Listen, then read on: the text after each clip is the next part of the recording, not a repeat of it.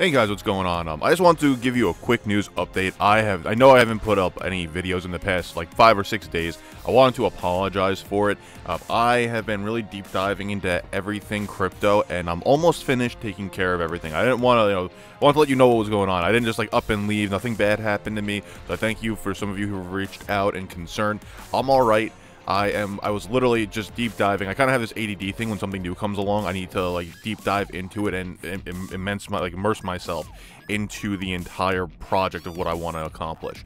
So I've done that. I'm almost finished. I should be finished by tonight, and you should either have a video by tonight, like an actual video by tonight, um, or by tomorrow morning for sure, definitely. So again, I want to apologize for the lack of communication that I have, you know, that I have not given you. So uh, I'm all right. Everything's going fine. I just had to do a whole bunch of research on this, uh, my new investments and everything, because I haven't done this before, and I want to make sure I understood the entire concept and what projects I should actually make my investments in. So for any of you who are actually interested in crypto, let me know because um, I'm interested to hear what you guys have to say about it.